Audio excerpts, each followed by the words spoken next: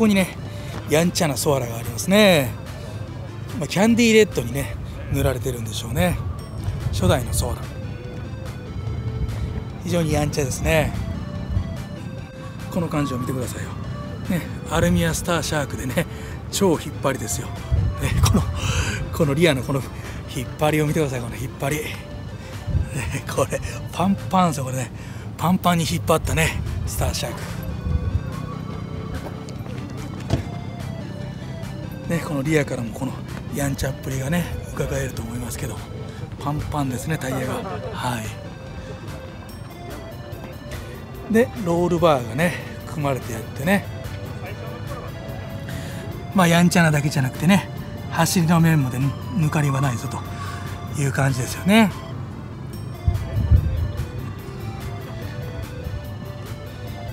でビタローニビラがねこのやんちゃさをね引き出しますよね。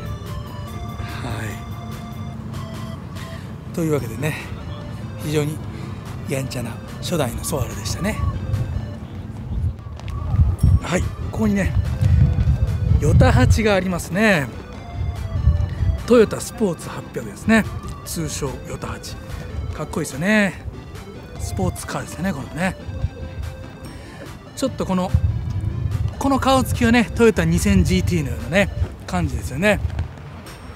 まあミニ 2000GT といったねあたりでしょうかね。この感じがね非常にスポーティー。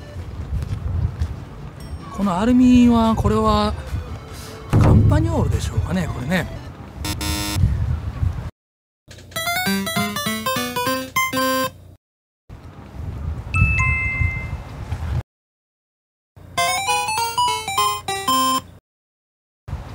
でこのボンネットもねちょっとダクトのような感じでねこうダクトが開いてるんですね。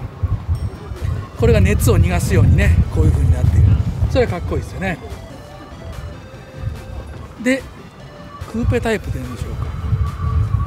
ヨタハチはカブリオレはなかったですかね。ちょっと詳しくはちょっと分かんないですけど。非常に赤が眩しいですよね。赤が眩しい。でこのバンパーですね。珍しいバンパーまあオーバーライダーというんでしょうかねこれね。オーバーライダー。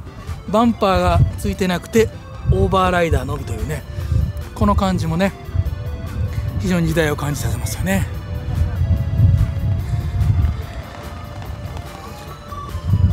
でステアリングこれノーマルでしょうかね。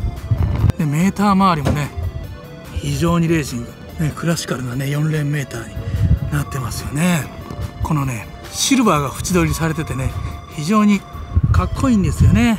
非常にかっこいい。でシートもねまあ2シーターなんでねリクライニングはしませんよね。この辺もレーシーな革張りなんでしょうかね。そんな感じもします。で天井だけ黒なんですね。こういうツートンカラーなんでしょうかねヨタハチは。というわけでね非常にかっこいいトヨタスポーツ800でしたね。はいここにね縦黒がありますね。縦目のグロリア通称縦黒。この縦黒もね撮らせていただいたことあるんですけどこれ珍しい縦黒なんです。っていうのをね見てください。縦黒のバンなんですね。珍しいね。縦黒自体珍しいんですけどさらにねこのバンタイプというね非常に珍しいね縦黒このデザインがねいいじゃないですか。この感じこのライト周りの感じね。この感じがね非常にアメ車っぽいですよね。日本車とは思えないねこのデザイン。奇抜なデザインですよね。でこのバンパーなんかもねこの湾曲した感じがね非常に秀逸ですよね。ねこのテール周り。珍しい。でホワイトリボンにねこれアルミは円形マグなんですけどもパッと見ねアメ車っぽく見えるじゃないですか。これもねオーナーさんのこだわりでアメ車っぽく見えるようにねこのデザインのねアルミをねチョイスしたということなんですね。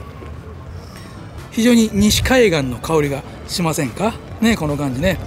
サーフボードなんかをね天井に積めばねまんまカリフォルニアですよね。はい。でね室内もねこのノーマルのステアリングにねコラムシフトっていうのがねいいんですよね。でベンチシートね。6人は余裕で座れそうな感じですよね。でこの広々としたねこのラゲッジスペースね。これがバンの強みですよね。はい。というわけでね非常に珍しい縦黒のバンでしたね。こちらにポルシェがありますね。古いポルシェですね。912と書いてますけども911じゃないんでしょうかね。ちょっと僕ポルシェは詳しくないんですけどあのポルシェってポルシェ911でもさらに形式が912とかなんかそういうややこしい感じになってるんじゃなかったでしょうかね。そういう話を聞いたことがありますね。確かねこの車もね以前オーナーさんにお話を伺ったことがあるんですけどもちょっと詳しくは忘れちゃったんですけども何かの違いで912だというふうにね言っておられましたね。でポルシェなんでねもちろんねレーシーですよ。まさしくね昔のクラシックカーっていうね佇まいですけどもね。でもメーター周りはね非常にレーシーな感じでねかっこいいですよね。ねというわけでねクラシックなんだけども古さを感じさせないポルシェでしたね。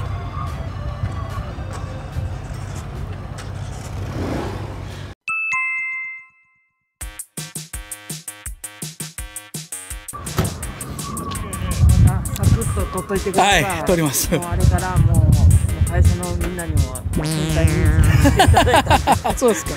それはよかった。い、よかったはい、こちらね、こちらも以前撮らせていただいた MR2 ですよね。このね、濃いブルーメタがね、非常にかっこいいね。これ純正色らしいんですよね。で、この車はね、特別使用車というか限定車らしいですね。でね、このエンブレム、ね、エンブレムはね、七宝焼きらしいですね、これね。この和紙、和紙なんでしょうかね。これは MR2 を表しているというね、非常にねこのねこの青が非常に眩しいですよね。でティーバールーフというんでしょうかタルガトップというんでしょうかね。このようにねまああのオープンにもなるというね仕様なんですね。で MR2 はねミートシップなんでねこのリアにねエンジンがあるんですよね。ここにエンジンが収まっているんですね。でこのようにリミテッドって書いてるでしょ。で室内はねナルディのステアリング変えられててねこのね青が非常に綺麗なんですよね。この室内もね青を基調とした、ね、シートになっているんですね。でよれが全くないんですよね。この室内ね。はい。あのレバーを引くとねエンジンルームは開くんですよね。でねこの個体はね非常に綺麗にされておられるんでね新車のようにピカピカですよね。このダッシュボードなんかもね青で割れがないですよ。立派な旧車なんですけども非常に綺麗な状態。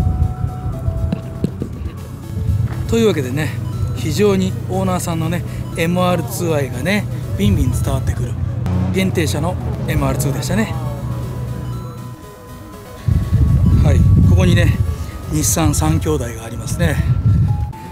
こちらのねハゴスカ R 仕様がバッチリ決まってますよね。この赤もおそらく GTR 純正の赤じゃないでしょうかね。でこのオーバーフェンダーは純正ではないんですよねこれね。この独特のねアーチを描いているというね今風のデザインのオーバーフェンダーですね。このようにねアルミも径の大きいねやつに変えられてて一見 R 仕様なんだけどもクラシカルと最新式の融合みたいなね感じの箱スカという仕様になってますよね。で極太のマフラーにね5スピードエンブレムね。で板っぱねがついていて、まあ、GTR バッジとかねついていて R 仕様はバッチリなんだけども、ね、横から見るとねこの今風のエアロという感じですよね。室内はね箱スカ専用のねダッツンコンペのホーンボタンに変えられてますよね。でレカロシートになっていて走りは抜かりがない感じがしますよね。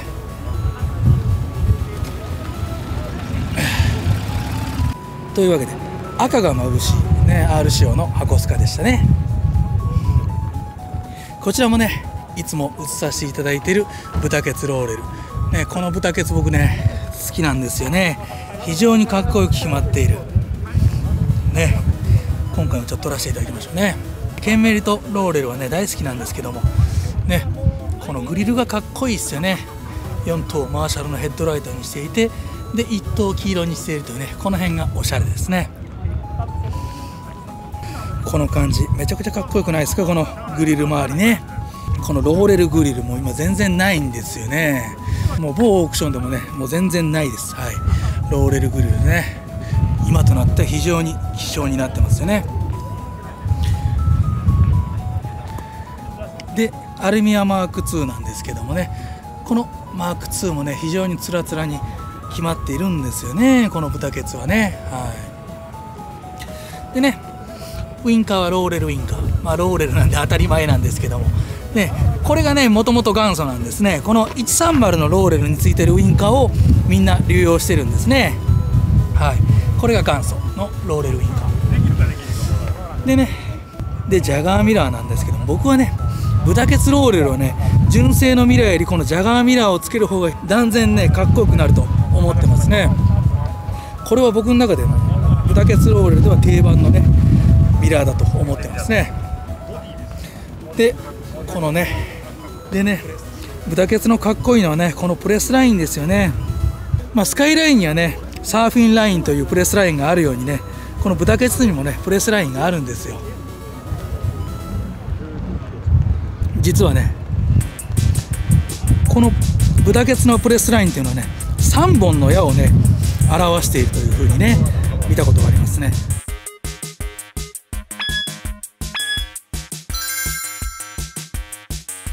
この1本目はここのライン。これが1本目。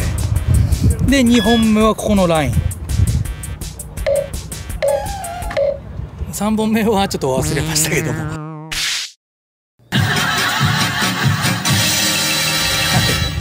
ね3本の矢矢のねデザインになっているとね聞きましたね。はい。でこの豚ケツのね非常に珍しいとこはここなんです。よローレル GX 豚ケツローレルといえばね SGX が有名ですよね。SGX とか豪華版の SGL に対して GX って何なんだろうと。もともと4気筒のねグレードだったんですね。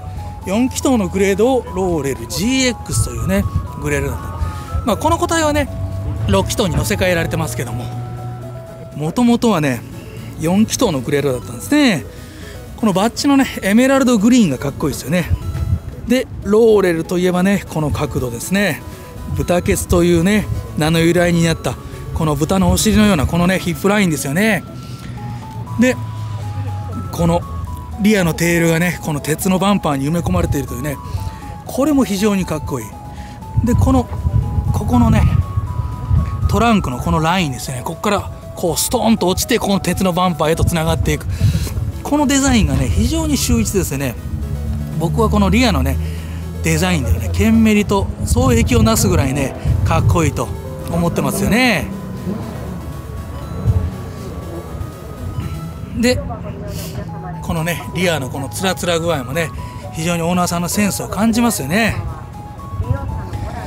でこちらもねドアを閉めた時の内圧を逃がすねこの空気口というんでしょうかねこれがついてますよね。これはケンメリと共通です。なぜならケンメリとねブダケスローレルは兄弟車なんでね大体似てるんですよね。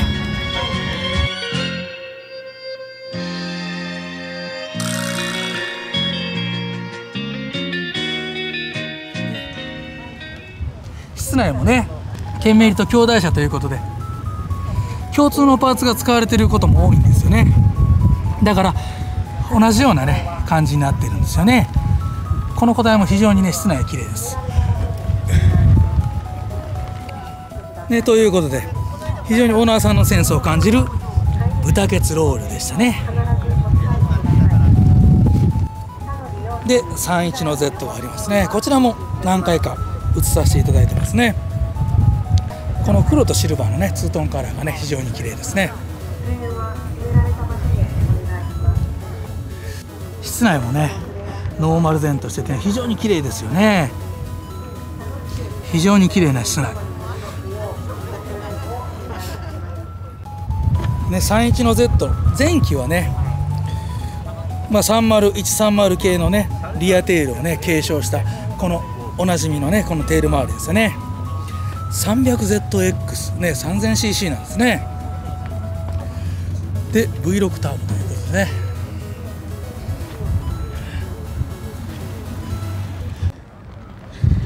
はいここにね日産3兄弟がありますね、まあ、まずはね久しぶりにねちょっとたまにはね自分の車もねちょっと映しましょうか。ね。こちらにねセンスのいいケンメリがありますね。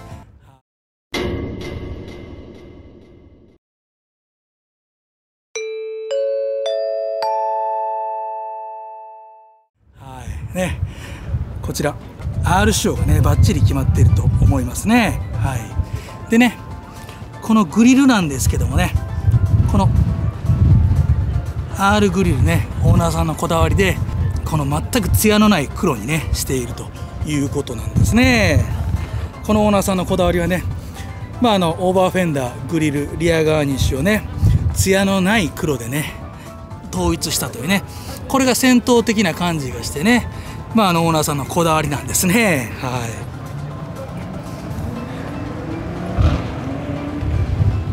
リアビューもこんな感じですよね。まあ、オーナーさんのこだわりでねこのリアのこの感じねこのバーフェンに。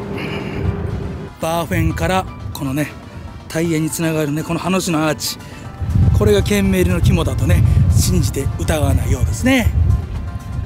このねブラックアウトされたねリアガーニッシュ。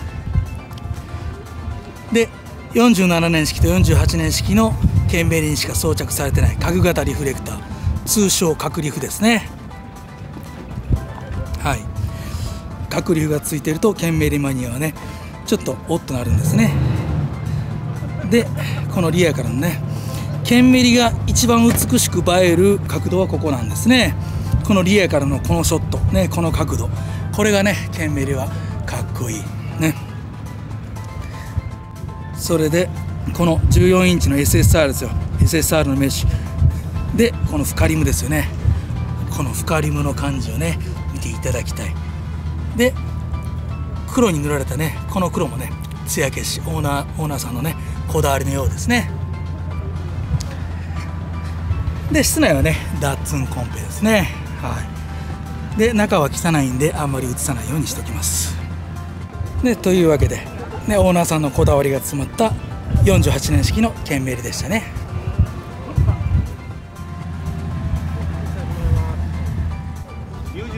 あありがとうございます。これからもよろしくお願いします。はい。今日あのあの箱虎乗ってきたんですよ。あのええ音した。あの映してください。はい。映します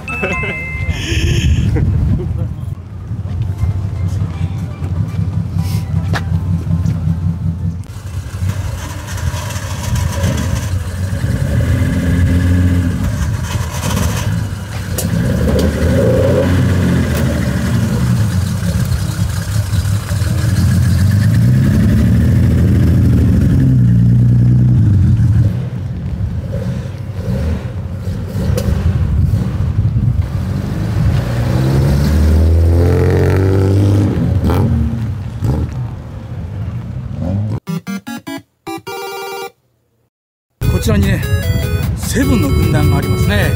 FC3S というねシティがありますね。懐かしいですねこれ。ね僕シティ好きなんですよ。ここにね皆さん箱スカがあるなとお思いでしょうか。いえいえ違うんですよ。ね実はねこれサニトラなんですね。